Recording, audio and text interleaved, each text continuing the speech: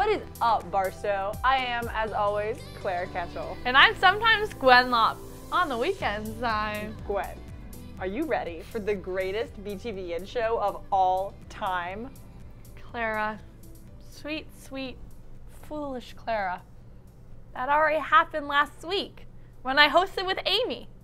And if you haven't watched that episode, go. It's like really funny, like the funniest. I see how it is. What what's happening? Nothing. Uh, I'm sorry, Clara. Talk to me. It's fine. Roll the intro. Clara, I'm sorry. Roll it.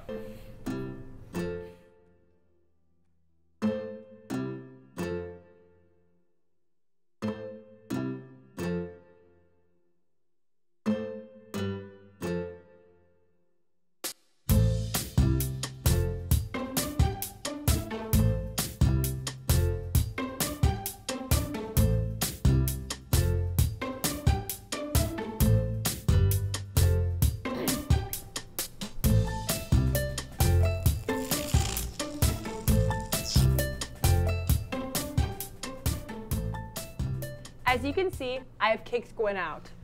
I'm still here. Not in my heart. In some club announcements, GSA meets at 1245 and Eco Club meets at 1115.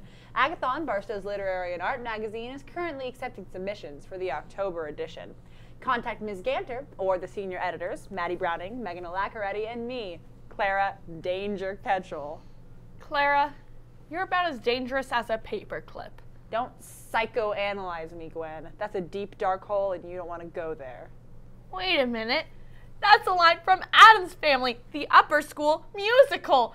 I'm in that show. Whoa! I'm in that show too! Darn, that's crazy. Who would have thought? Did you know that tickets are on sale right now on showtixforyou.com? I did know that. Did you know that tickets are free for students and faculty?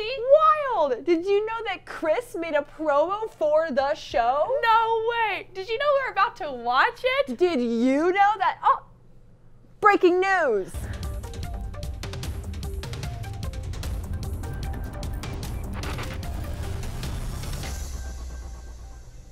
Oh, hello, Ms. Director. Uh-huh.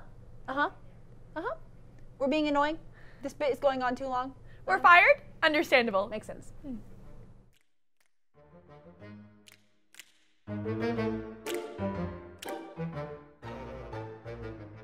So the Addams Family is a musical version of the classic uh, Addams Family story um, that a lot of people knew from either the, the 1960s black and white television series or in the 1990s there was a couple of really famous uh, film versions of it. So it involves the Addams Family, and there, um, but it's uh, Wednesday has grown up. So she's a young lady and she has a boyfriend and she wants to bring her boyfriend and his family over for dinner. Hi, my name is Gwen Lobb. I play Alice Spinacki in The Addams Family. My name is Rishi and I play Gomez Addams in this year's production of The Addams Family.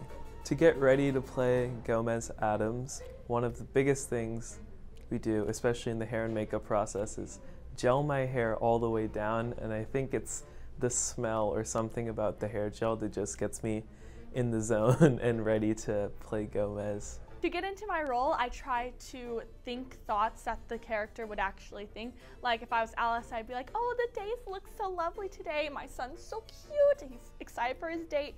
Just things like that to try to really per- be the character, get rid of Gwen and be Alice. Nobody's ever asked me what I do to get ready for the play. I think we usually focus on what the actors do, but you know, I think I have to do a little bit of the same thing. I have to get myself focused.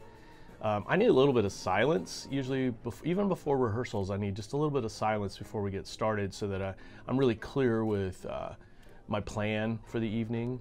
The scene that I'm looking forward to the most is Full Disclosure, which is where kind of all the secrets of the show come out. The scene I'm looking forward to the most is probably Happy Sad. It's a very touching and emotional scene, and pretty much my goal is to make the audience cry a little bit, so that's why I'm excited for it. So the Upper School Musical, The Addams Family, uh, opens on October 17th. It plays the 17th, 18th, and 19th, 7 o'clock in the evening. Tickets are always free to Barstow students, so come on out and see The Addams Family. We pleaded for our jaws back, so haha, you're stuck with us. They want us to talk as little as possible. So here's a soundbite with Ms. Taha about the 135th anniversary of Barstow. So the 135th anniversary party is Friday, October 11th at 6:30. We are bringing it back to the school, so it'll be in the back parking lot in Lot D. We're pitching a tent, and we'll have a stage, we'll have a band, um, we'll have a raffle and ring toss and silent auction items, and we're really excited because we'll have alumni, parents, grandparents, trustees, and friends of the school will be there. Um, it's really going to be incredible, a wonderful evening. We are really excited to celebrate Barstow's 135th year. This is kind of the kickoff for the year. There'll be other events throughout the year for the school, um, and this is the big community party that we'll be having. So um, it's also in conjunction with Alumni Weekend, and we felt that was important to have alumni on campus to celebrate this milestone. Um, in terms of Alumni Weekend, we'll have Maria Ilyakova, class of 2004, on campus as our speaker at 10 o'clock on Friday. So don't miss that. Wow. Happy birth, Barstow. Clara, since I speak French and you speak Spanish, go ahead and welcome you know who. Wait, wait, wait, wait. I speak French. I thought you spoke Spanish. Yup, fired again. Well, this will be our last show. Sad. But before we go, let's say welcome, Welcome, Argentinian students. Hopefully the weather is nice for your stay. That's the cue to go to Caden.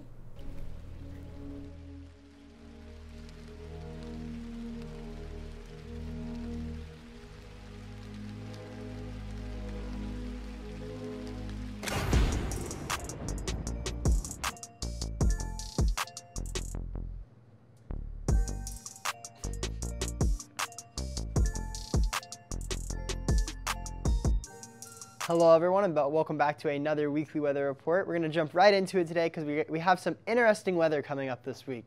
So, currently, we're going to experience some temperatures around 60 degrees. It's going to feel a little bit warmer than that. Um, we have a little bit of cloud coverage. Um, it's been off and on this morning, so the sun may be peeking through uh, throughout the morning. Um, but we are going to see some more cloud coverage as we head later into the day. We actually have a chance of some precipitation and rain um, around noon, and then heading into the early afternoon, we're going to see the biggest chance. And then again, around 7 o'clock over here, we're going to see some more uh, chances of rain. And as you can see, it's actually going to warm up as we head into the night um, because tomorrow we're actually going to see some warmer temperatures um, and heading into the rest of the week, it is going to cool down again.